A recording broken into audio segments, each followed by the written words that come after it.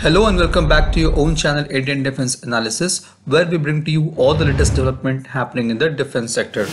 If we talk about the air-to missile program by DRDO, the 110 km range Astra Mark 1 has completed its development and entered into production.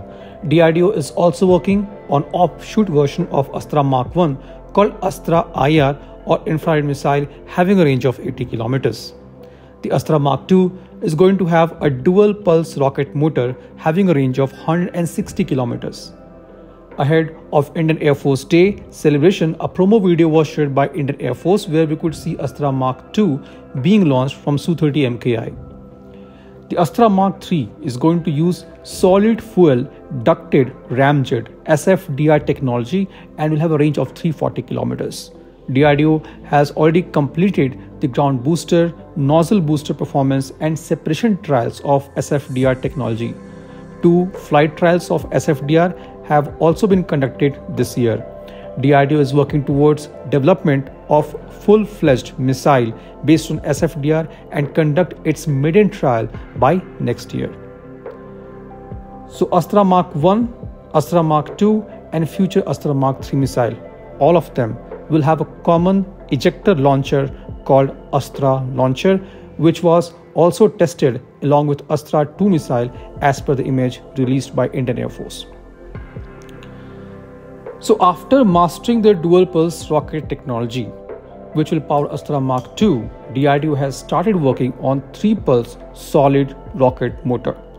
Recently, DRDO has released a statement of work for procurement of lined igniter assembly for 3 pulse motor. A solid rocket motor requires an efficient ignition system to start its functioning. A separate ignition system called igniter is assembled in the rocket motor to achieve this task. Igniters for solid rocket motors are basically of two types.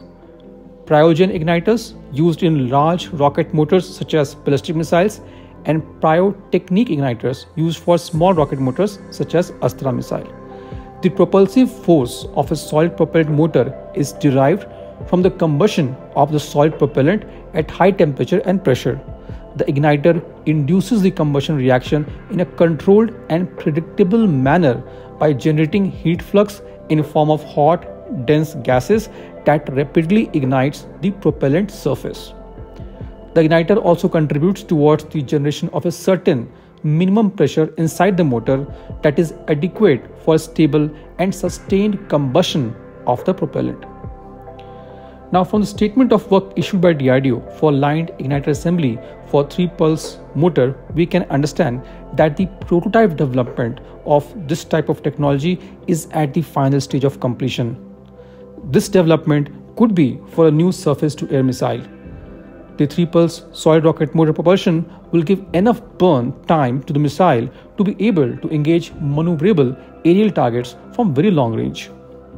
DRDO is also working on a new solid rocket motor which is called throttleable solid rocket motor as it will offer on-demand thrust modulation. It is going to be a hybrid missile which will combine the throttleability of a liquid fuel engine with simplicity of a solid motor. This type of propulsion technology will improve the missile's kinematic performance and avoid the unwanted burning of fuel, thereby giving it better sustained burn time and range. This was today's update. Please let us know your views on this in comment section. If you like the video, do not forget to like, share and subscribe. With this, I would like to say goodbye and Jai Hind. We'll soon back with more interesting and amazing development happening in the defense sector.